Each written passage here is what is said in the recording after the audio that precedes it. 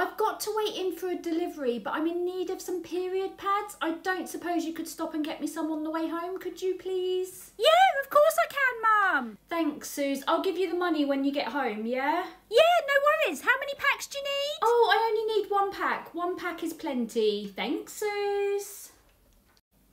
Oh, hiya, Suze. Is that you? No, it ain't, Mum. It's me. Oh, hiya, Craig.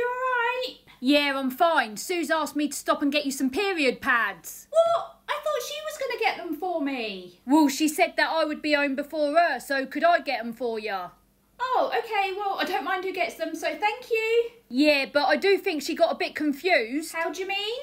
Well, when she said that they were for you, I was like, you're having a laugh, ain't you? She don't have periods at her age. I'm 42. Yeah, exactly. That's old, Mum. So instead, I got you incontinence pads. I'll leave them on the stairs for you. Bloody hell, Craig!